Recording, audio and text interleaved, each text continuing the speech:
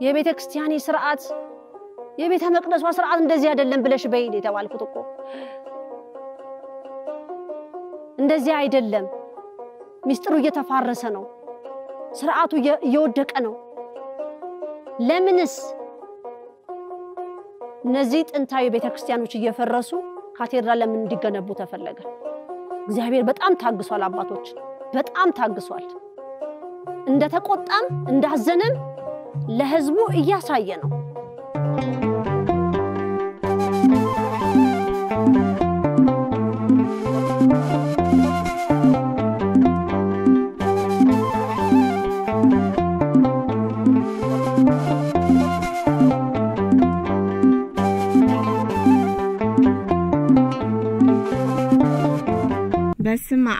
ወወልድ ወመንፈስ ቅዱስ አህዱ አምላክ።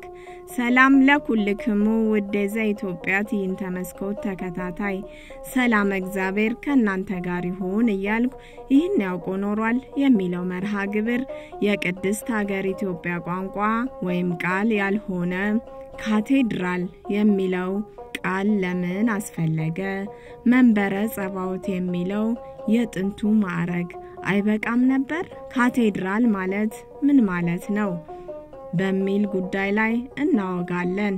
ይህን የማቀርበው አነ ወለተ መድን እባሃል። እስከ ፍጻሜው ይከታተሉን። እንግዲህ የጥንት የቤተክርስቲያን ስራዎች እየፈረሱ ነው ካቴድራል እየተሰሩ ያሉት። እህተ ማርያም ደግሞ በኃይለኛ ካቴድራልን ተቃወሚ ልጄ ተብያለሁ። ካቴድራልን ተቃወሚ። ካቴድራል ማለት የላቲን ቃል ሲሆን ትርጉሙም የጳጳስ ወንበር ወይንም መንበረ ጳጳስ የጳጳስ ወንበር ያለበት ቤተ መቅደስ ማለት ነው። መንበረ ጸባዖት የሚለው የቤተ ክርስቲያን ስያሜ ካቴድራል ብለው ሰየሙት። መንበረ ስባት፣ መንበረ መንግስት፣ መንበረ ጸባዖት የእግዚአብሔር አምላክ መንበር መገለጫ የነበረውን የጳጳስ መገለጫ ካቴድራል እያሉ ራሳቸውን ሾሙ።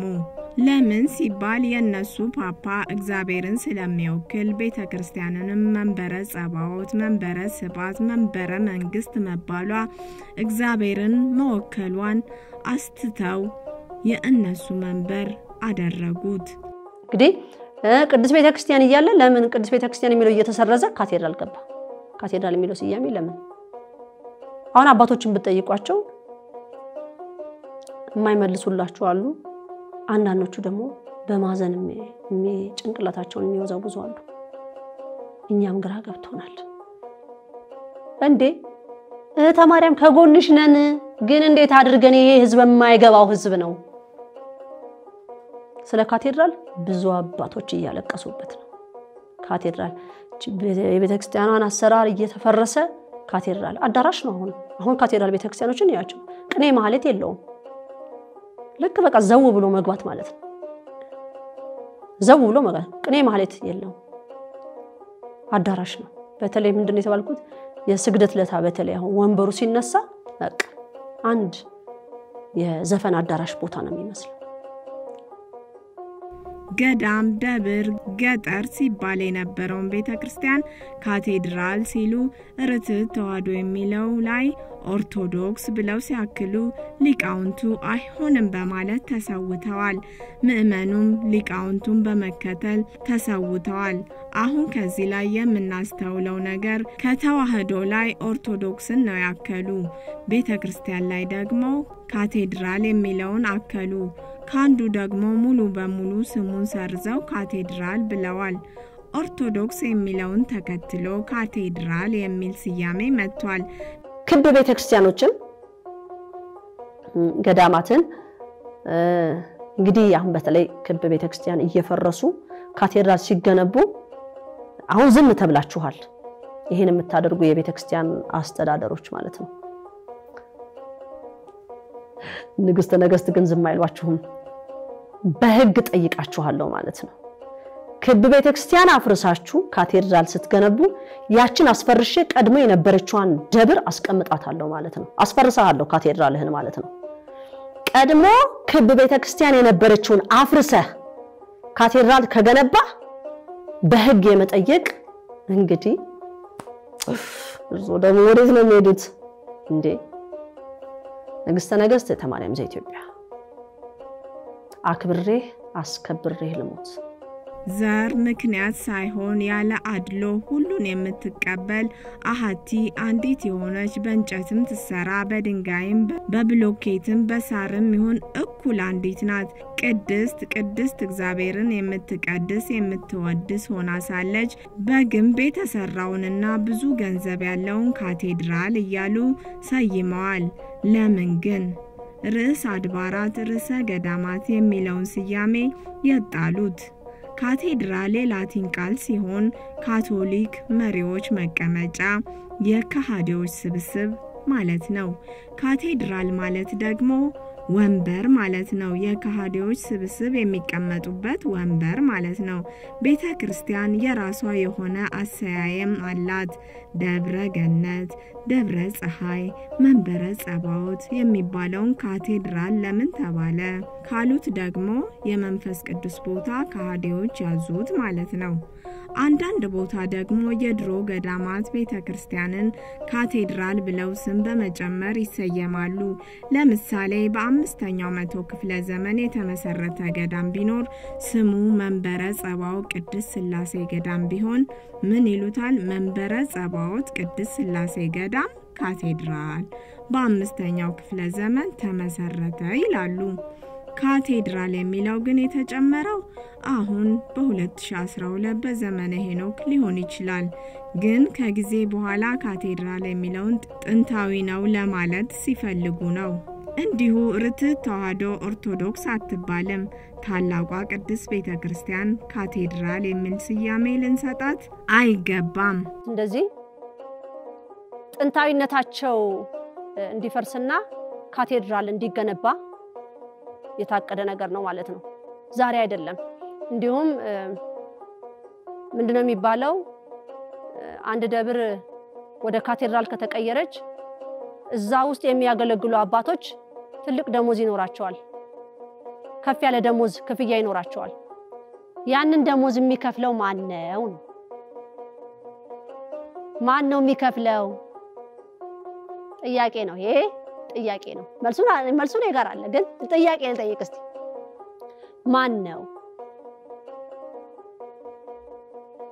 እንግዲህ ቀስ በቀስ እያለ ጉዱ ሊወጣ ነው ማለት ነው። ማን ነው ለኦርቶዶክስ ቤተክርስቲያን ለረጅም ጊዜ ደሞዝ ሲከፍል የነበረው ማን ነው? የካቴድራል አሰራር ስርዓትን የማይጠብቅ አሰራር ነው። ይህ ብዙ በር ያሉት ብዙ ጉልላት ያሉት በምዕራብ በኩል በር ያለው ቤተ መቅደስ ክፍት የሆነ ሴቷም ወንዱም በአንድ ላይ የሚተያዩበት የሆነ መጽሐፍ ቅዱሳዊ አሰራርን ያልያዘ የኦርቶዶክስና የካቶሊክ አዳራሽ ነው። ትንቢተ ኢሳይያስ ምዕራፍ 66 ላይ ሰማይ ዙፋኔ ነው፣ ምድርም የእግሬ መረገጫ ናት። የምትሰሩልኝ ቤት ምን አይነት ነው? የማርፍበትስ ስፍራ ምንድን ነው? ይላል። ሙሴ ደብተራ ድንኳን ሰርቷል። ዘጸአት 36 ጠቢቡ ሰለሞን ቤተ መቅደስ አንጿል።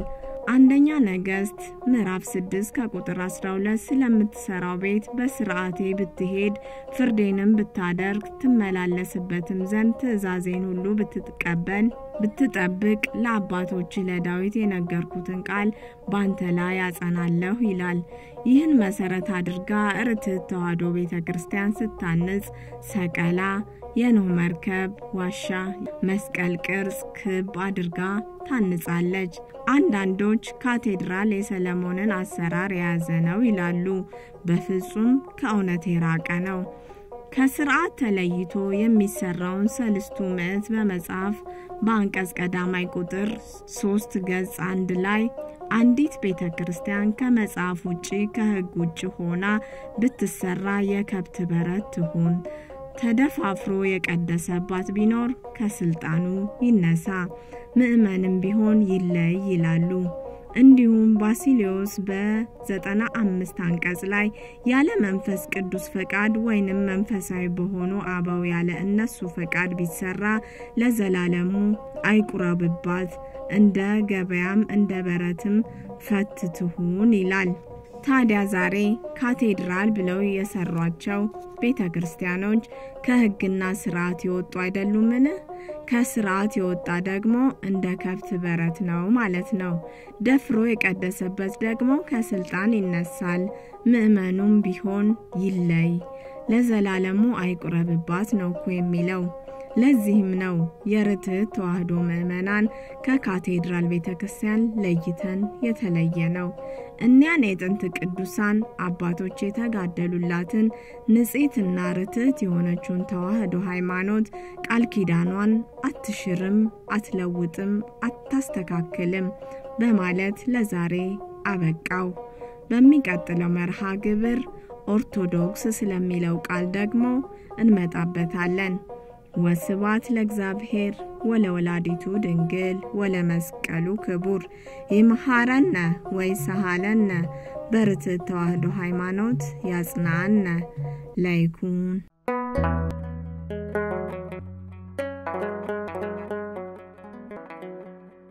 ዘኢትዮጵያ